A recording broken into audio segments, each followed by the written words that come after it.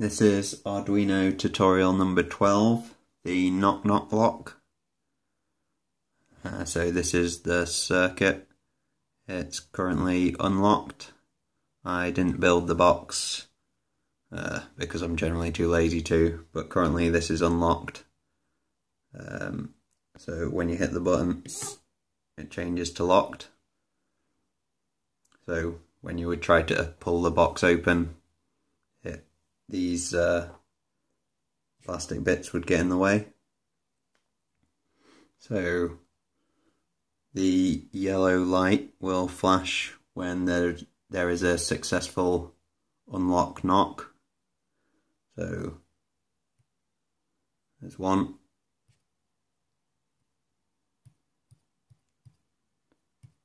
Two,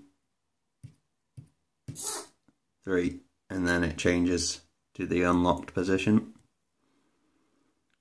So the code for this is basically you have to have three successful knocks for it to unlock.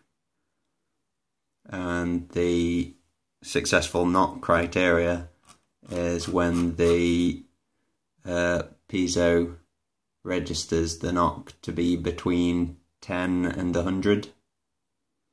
So it's halfway between a loud and a quiet knock and that's about it. The circuit was fairly straightforward. There's a lot of wires, so be careful with that. Uh, I found these switches are a little bit fiddly as well, but I found if you plug the wires into the same hole on the breadboard as the switch pins, that helps. Now the box is locked again. Uh, this is the last of the Arduino tutorials. Um, after this, I will be modifying the remote control car, I believe. So, see you in the next video.